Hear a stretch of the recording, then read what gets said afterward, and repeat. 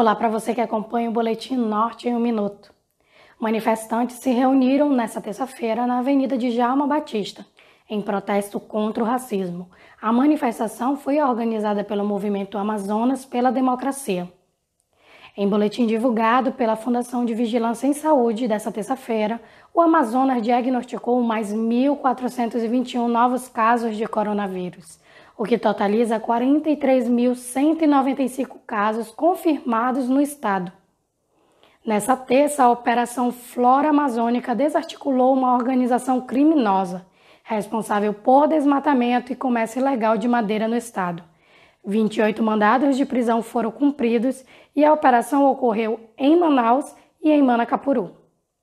Eu sou Raline Pontes, do portal Norte de Notícias.